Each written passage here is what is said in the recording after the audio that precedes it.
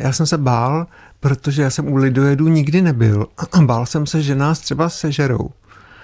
A což taky hrozilo, ale byly tam horší věci, že, že ta, ta, ta krajina, kterou se za nima postupuje, je neprostupná pro nás eh, civilizovaný bělochy, kteří jsou zvyklí chodit v botách, protože ta krajina v podstatě není dělaná na boty.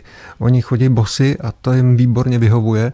Tam nejsou stezky, oni chodí většinou třeba jako potůčkama, kde neroste vegetace, nebo takovým blátem, kde vám ty boty zůstanou. V tom a ty umíš roztáhnout prsty jako gekon? A oni umějí roztáhnout prsty jako gekon, my ne.